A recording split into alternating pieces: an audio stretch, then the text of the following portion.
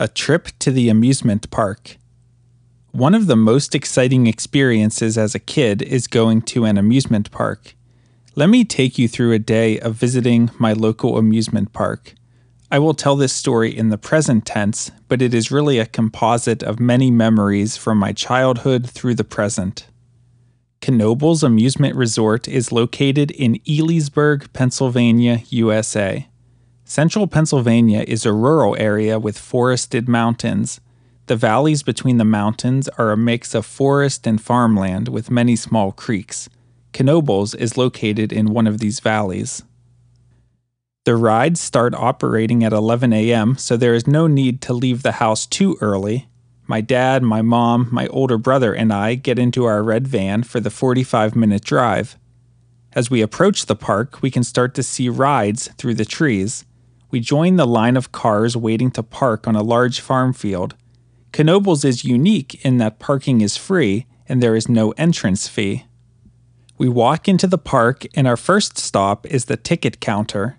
You can pay to ride in two ways. The first is using ride tickets.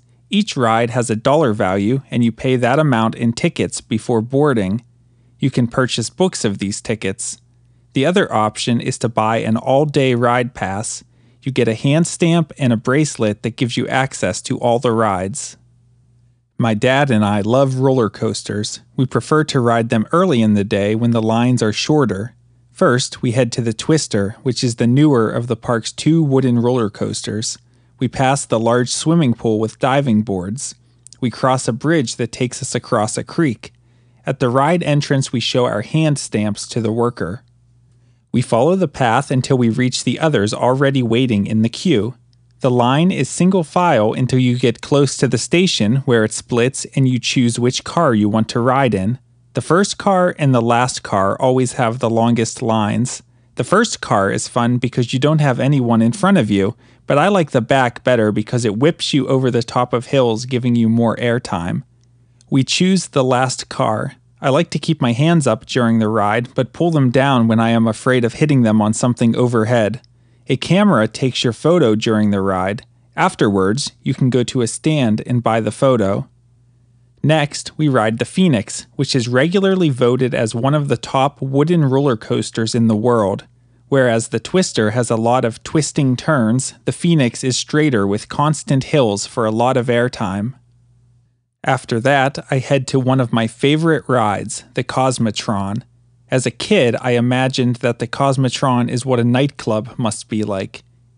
It is in a round metal building. I stand in line outside and hear the muffled rock music from inside. When the ride ends, the exit door opens and the riders stream out of the dark, foggy room. When they have all exited, the entrance door opens and we are let inside. On the left is a small DJ booth playing music at a moderate volume. A fog machine fills the room with smoke. Colored lights shine around the building. About 40 cars form a continuous circle on a track with small hills. A metal walkway encircles the cars. I get into an empty car which has a seat large enough for three people to sit side by side. I pull down the metal lap bar. The lights go completely out and the previous song fades away. The ride begins to spin. A pop song starts to play at a deafening volume. Colored lights flash all around the room. A laser reflects off of a disco ball at the peak of the ceiling. I push my feet against the angled floor and hold on to the lap bar to prevent the centrifugal force from throwing me outward. The ride slows and stops, then begins spinning in reverse. Eventually, the song ends and the ride stops. I get off feeling a bit dizzy and thankful that I did not eat anything beforehand. One of the classic rides is the carousel, which is over 100 years old. Marching music plays from an antique organ. You sit on a horse that goes up and down on its pole as the carousel spins. If your horse is on the outer row, you can grab metal rings from a dispenser. Most of the rings are steel, but if you grab a brass ring, then you get a free ride. At the end, you throw all of the rings you collected into the mouth of a lion. Knoebels has a Ferris wheel that is 110 feet tall. A Ferris wheel is a large upright wheel with cars dangling beneath. It turns slowly, giving riders at the top a nice view of the park. Knoebels has a lot of options for food. My family always goes to the same restaurant and we split a cheese pizza. My parents order the food and I keep riding while they wait for it to be cooked. I always get a vanilla ice cream cone too. After lunch, we want to go on a gentle ride to give our food time to digest. Conveniently, the haunted house is nearby. The haunted house is not included with the hand stamp, so you must pay with tickets. The haunted house is what is called a dark ride.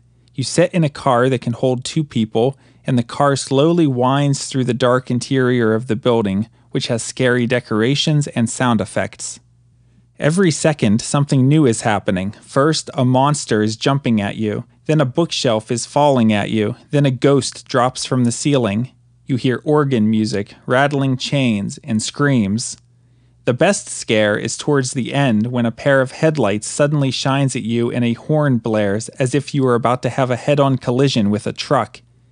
On a fourth grade field trip, I rode the haunted house with a girl who had a crush on me, and she thought it was funny when I jumped at this scare. There is a lot of entertainment around the park. A storytelling stage show lets children dress up and participate. A live band plays from a band shell. A group of high school singers performed songs from different eras as they dance around. My dad always wants to ride the train. The cars have no roof and the seats are only wide enough for one adult. The train goes along the edge of the park, underneath the water slides and the twister, and through a tunnel. It passes through the woods where we see deer and squirrels. The ride lasts about 10 minutes. If you don't mind getting wet, you can ride the log flume. Each little boat looks like a log and can hold up to four people.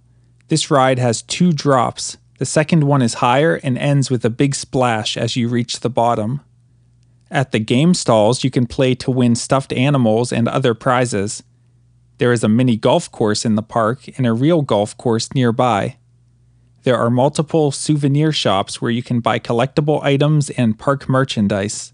One shop has a Christmas theme with a frozen North Pole out front. An interesting attraction tucked into a back corner of the park is an enclosure with two bald eagles.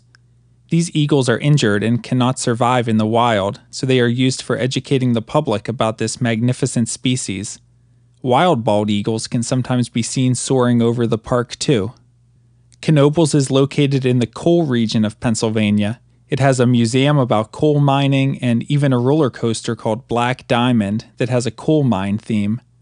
Knoebels is not far from the town of Centralia, which is famous because a fire has been burning in the coal mines beneath the town for over 50 years. You can camp at the park if you plan to stay several days and don't want to drive back and forth. By the late afternoon, I am tired from all the excitement and ready to go home. I feel a bit disappointed that the fun is over, but I'm glad that I got to ride everything that I wanted to. What is your favorite amusement park? Leave your answer in the comments below. If you enjoyed this video, please give it a like and subscribe for more English listening content. This is David B. Thanks for listening.